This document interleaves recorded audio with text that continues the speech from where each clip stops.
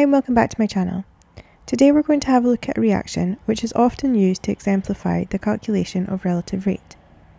The reaction we're looking at is the reaction between potassium permanganate and oxalic acid.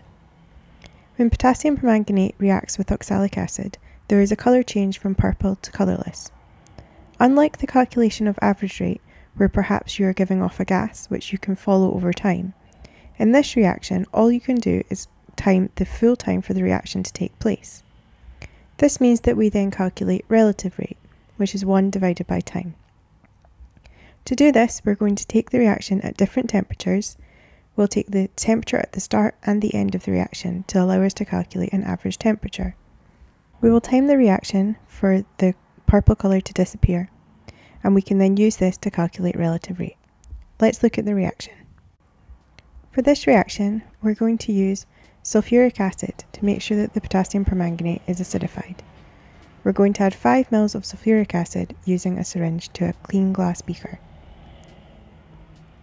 To this we're then going to add 2 milliliters of potassium permanganate, again using a syringe.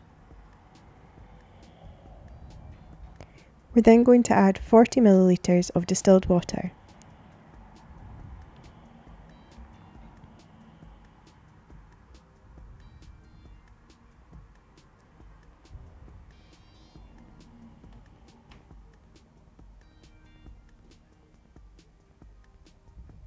We're going to heat the reaction using a Bunsen burner and monitor the temperature using a thermometer.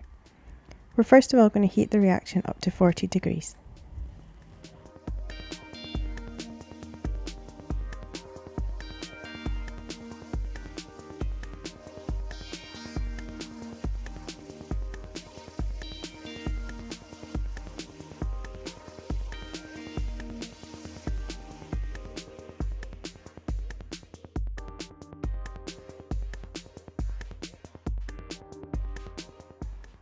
Once the reaction mixture is at the required temperature, we'll remove it from the heat and place it on a piece of white paper to allow us to see the colour change more clearly. At this point, we're going to add 1 milliliter of oxalic acid using a syringe. We're then going to start a timer and stir the mixture until it's colourless. At this point, you will then take the final temperature. I've sped this part up because at 40 degrees this takes quite a while.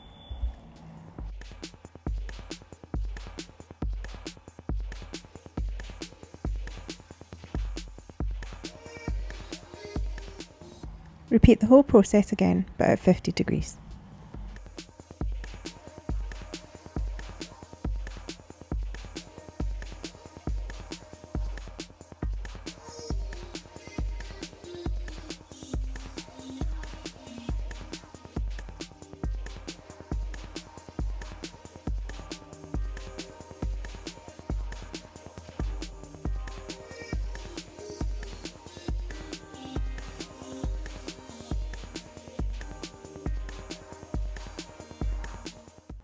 Here are the results from the video.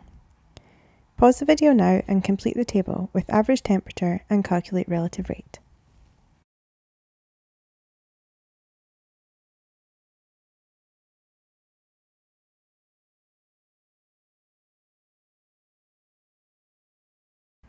Here are the completed results.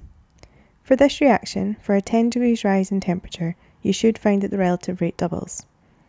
We can see this between 50 and 60 degrees, and approximately between 60 and 70. However, between 40 and 50, this has not happened. These are actual experimental results, and sometimes things don't work out as they're meant to in the textbooks. However, you should learn that for a 10 degree rise for the oxalic acid and potassium permanganate experiment, you should get a doubling of rate. Thank you for watching my video, I hope that you found it helpful. Please remember to subscribe and ring the bell to be notified of new videos. You can also follow me on X at Miss Adams Chem, Instagram Miss Adams Chemistry, and TikTok Miss Adams Chem. Bye for now.